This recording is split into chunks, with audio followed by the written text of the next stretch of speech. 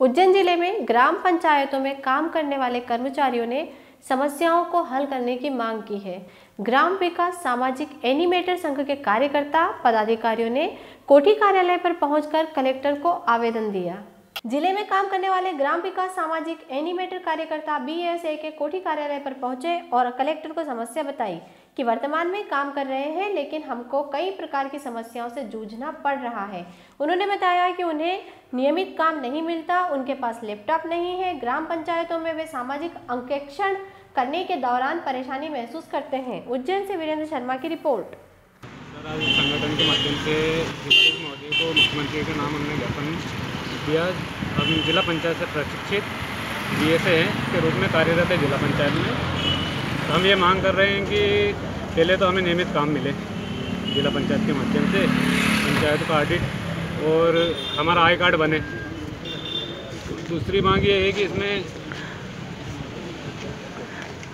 पंचायत के माध्यम से लैपटॉप सुविधा उपलब्ध कराई जाए जिससे करीब कितने कर्मचारी हैं और क्या रहता है? कर्मचारी करीब हम 200 ज़िले में 200 अभी के करीब कर्मचारी मैडम बताइए आप लोग किस प्रकार से काम करते हैं और किस प्रकार से धरातल पे दिक्कतें आ रही हैं और क्या समस्याएँ आप लोगों को आ रही हैं?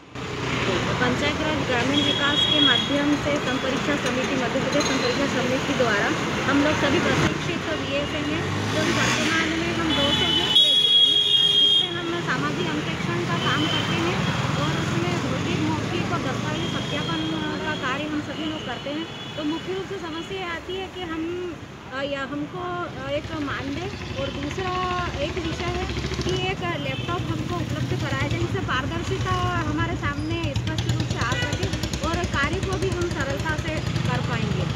और हमारे जितने भी वी साथी हैं दो दिन का काम या तीन दिन का काम हम लोगों को मिलता है इससे आजीविका संचालित करने में बड़ी समस्याएँ आती है। तो हम ये चाहते हैं कि नियमित काम हमको मिले और उसका नियमित हमको मानदेय शासन हमको दे और इसमें और भी जो मिड डे वगैरह के ऑडिट जो होते हैं और शासकीय राशन की दुकानों के उसमें भी हम लोगों को उसमें इन्वॉल्व किया जाए।